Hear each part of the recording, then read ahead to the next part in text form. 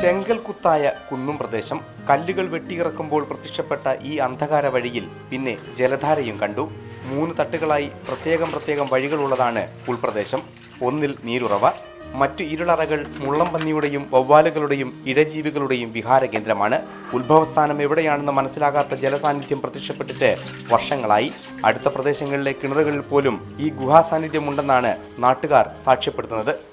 ഈ ഗുഹ അന്ന് നേരത്തെ ഒരു കിണർ ആ കിണറിലെ വെള്ളം ഇവിടെ വരും. ഇതിനകത്ത്. അവിടെ പാളയക്കാര ആ കിണറിൽ എടുത്താൽ അവിടുന്ന് ആ കിണറിൽ പാളയക്കാര അന്ന് പാളയക്കാര. അത് വീടാ ഇവിടുത്തെ ഇതിനുള്ളിലേക്ക് വരും. ആ കൊച്ചു കൊത്തി നോക്കുമ്പോൾ അടി വീണിട്ടുണ്ട്. അടിപൊളി വീട് ഇപ്പോൾ നോക്കുമ്പോൾ നല്ല വെള്ളം.